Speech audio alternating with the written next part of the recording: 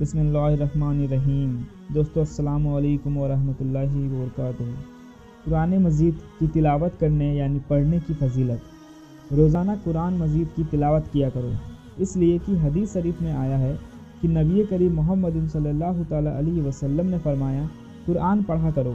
اس لیے کہ یہ قرآن قیامت کے دن پڑھنے والوں کی صفحات کرنے کے لیے آئے گا۔ حدیث قدوسی میں آیا ہے کہ اللہ تبارک و تعالیٰ فرماتے ہیں جس شخص کو قرآن کریم کی تلاوت کرنے، یاد کرنے، غور فکر کرنے اور ترجمہ تفسیر وغیرہ کرنے کی مشغولیت اور مصروفیت نے میرا ذکر کرنے اور مجھ سے دعائیں مانگنے سے روک دیا یعنی ذکر اور دعا مانگنے کی فرصت نہ ملی، تو میں اس شخص کو اسے پڑھ کر دیتا ہوں جو میں دعائیں مانگنے والوں کو دیتا ہوں یعنی اس کی سمست آوشکتاؤں اور مرادوں کو پوری کر دیتا ہوں۔ اور نبی کریم محمد صلی اللہ تعالیٰ علیہ وسلم فرماتے ہیں، اللہ کے کلام کو اور تمام کلاموں پر ایسی ہی فضیلت حاصل ہے جیسے خود اللہ تعالیٰ کو اپنی تمام مخلوق پر۔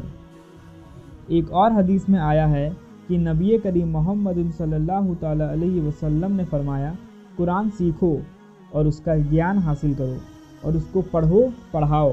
اس لیے کہ قرآن کی مثال اس شخص کے بارے میں جس نے سیکھا اور اس کا گیان پراپت کیا، پھر اس کو پڑھا اور پڑھایا بھی اور اس پر عمل بھی کیا، خاص کر کے تہذب کی نماز میں پڑھا۔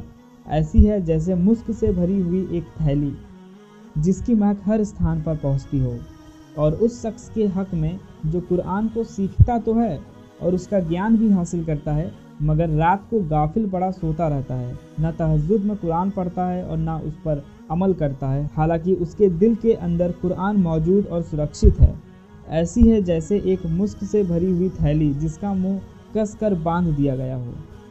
تو قرآن مجید کی تلاوت کرنے کی فضیلت بہت زیادہ ہے اور اسے پڑھنے، پڑھانے اور سمجھنے میں بہت زیادہ ثواب اللہ تبارک و تعالیٰ کی طرف سے عطا فرمایا جاتا ہے۔ اس لیے قرآن پڑھا کرو۔ قرآن کی تلاوت کیا کرو اور قرآن کو سمجھنے کی کوشش کرو۔